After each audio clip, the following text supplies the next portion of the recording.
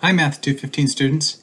In this video we're going to introduce uh, an important theorem from linear algebra called the invertible matrix theorem. Here is our list of outcomes. Uh, before moving on from this video please make sure to uh, make sure that you've got some familiarity with these things. We'll display this list as always at the end of the video. So now that we've uh, begun chapter two and we just introduced this idea of the inverse of a matrix, there are a couple questions that are kind of pressing for us. First off, how do we know if a matrix has an inverse? How do we know if it's invertible? And if a matrix A has an inverse, how do we find it? Now that latter question, we've actually seen how to do that. We know how to do this for 2 by 2 matrices or, or larger matrices, but the first question is still something that we could say more about. How do we know at the beginning if a matrix has an inverse? Here are a couple questions to help us uh, think a little bit more about this. Uh, go ahead and pause the video if you like, try to answer these questions, and we'll come back with answers in a few. All right, for this first question, we're supposed to find the inverse of negative 4, 8, 1, negative 2, if it exists. And uh, this is a 2 by 2 matrix, so we should know how to find the inverse of these. Remember, to find the inverse of a 2 by 2 matrix, you want to switch the diagonal entries, change the sign on the, uh, the B and the C entries, and then divide by this quantity which we call the determinant. And the determinant of this particular matrix is negative 4 times negative 2 minus 8 times positive 1. And that turns out to give us 8 minus 8, or 0. And that's a problem for us because in our formula for the inverse of a 2 by 2 matrix, this was supposed to be in the denominator of a fraction, and of course putting 1 over 0 uh, gives us an undefined quantity. So it turns out that this matrix does not have an inverse. It's not invertible. Now for the second question, for this 3 by 3 matrix, uh, we might have a little bit more luck. We can solve this one if we do what we mentioned in the last uh, couple videos if we attach an identity matrix onto the right hand side of this, and if we just start row reducing, trying to push that left hand half of this matrix to look like the identity matrix, when we're successful, the right hand side looks like this, and the right hand side is the inverse to the original matrix. All right, now the question you might run into is, is row reducing the only way to get the, the inverse, or to know if there is an inverse in general.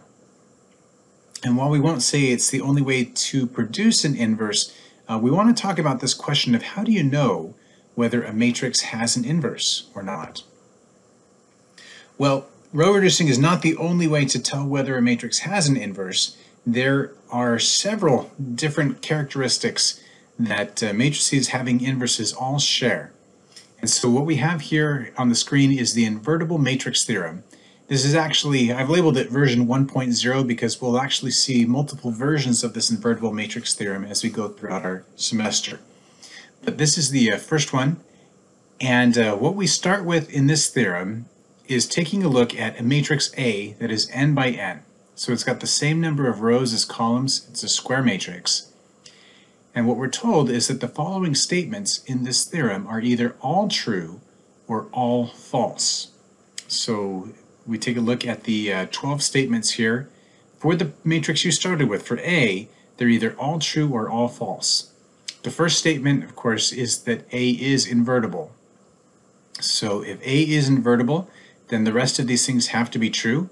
If A is not invertible, then the rest of these things have to be false as well.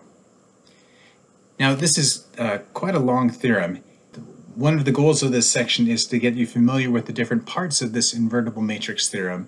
It's not necessarily something you'll need to have uh, memorized, but uh, being familiar with the different characteristics will really help.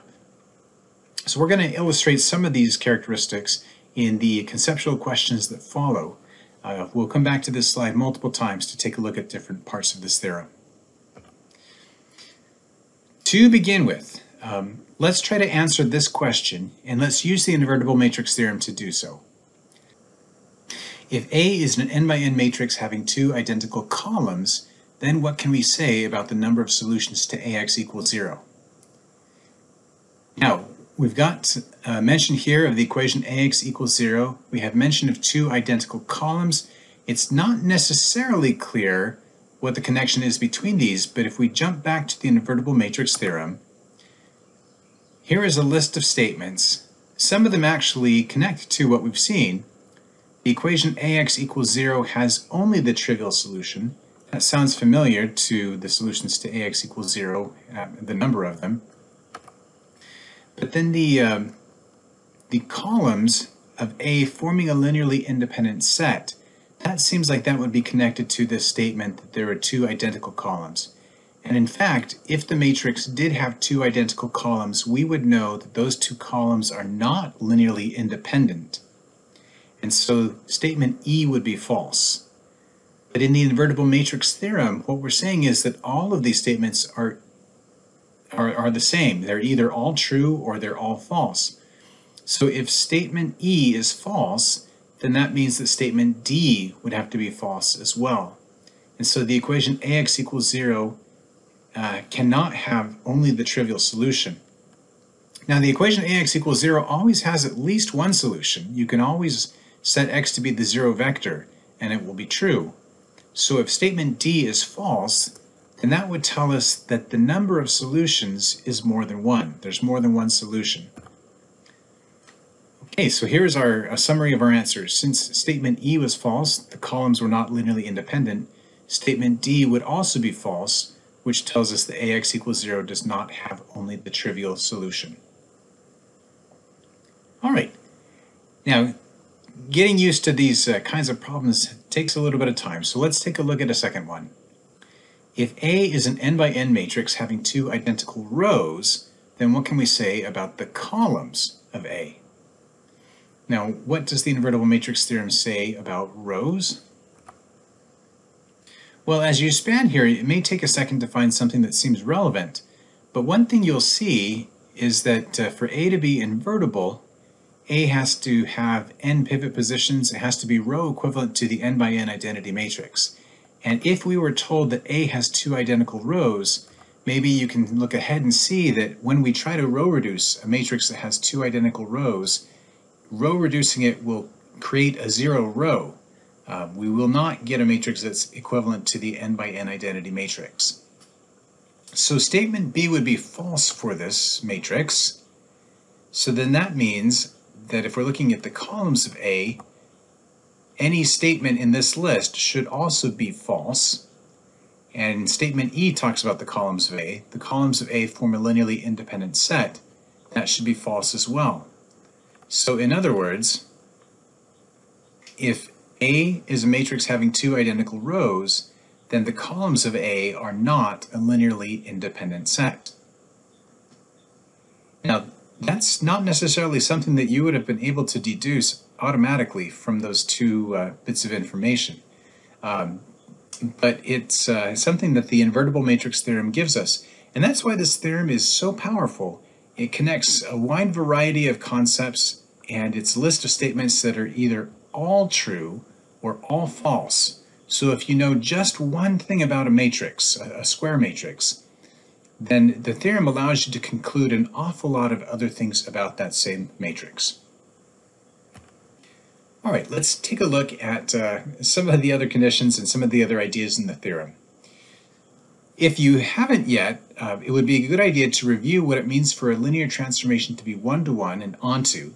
Go ahead and pause the video if you need to look up those definitions again.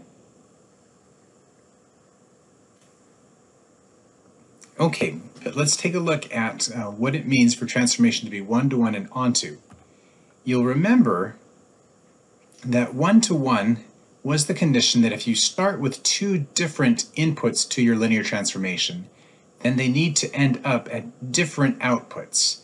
A one-to-one -one means that you cannot have um, something like this situation.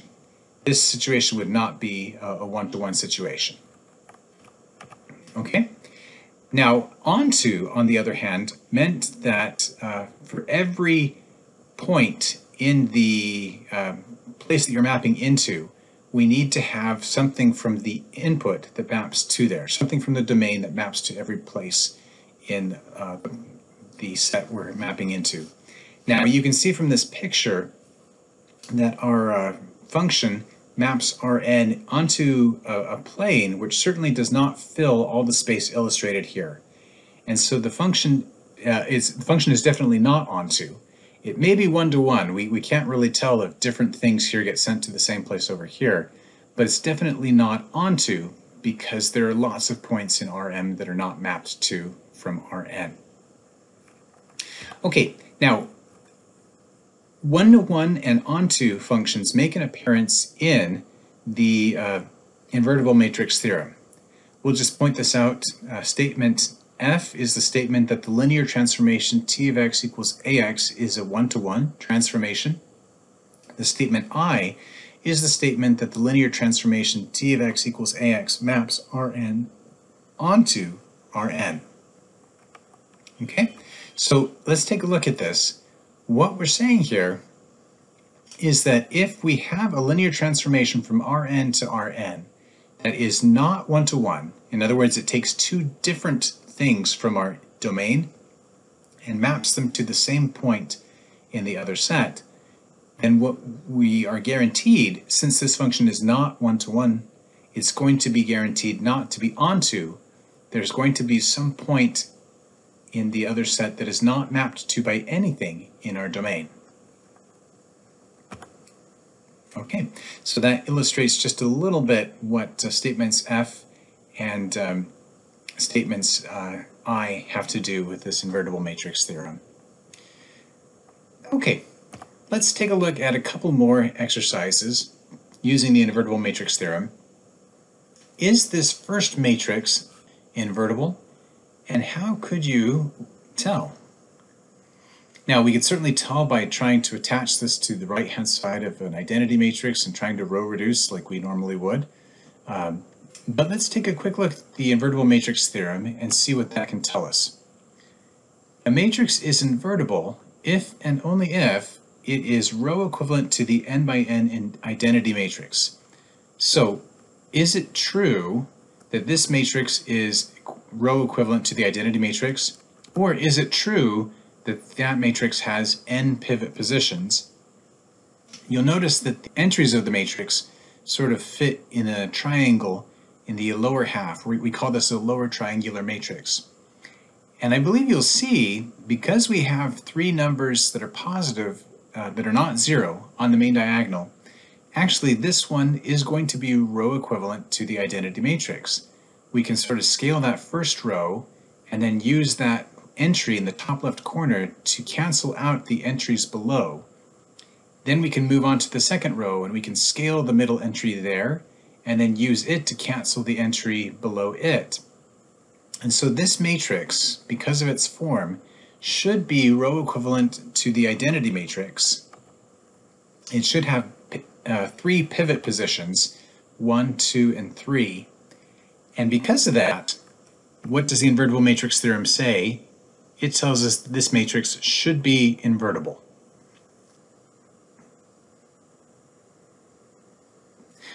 How about this question? How about the matrix shown here? Is this matrix invertible? How can you tell? Well, one thing you'll notice about this matrix is that it has a column of zeros. And so uh, what can the invertible matrix there tell us about columns of zeros? Well, the invertible matrix theorem talks about columns in a couple different places. Statement E talks about columns. The columns of A form a linearly independent set.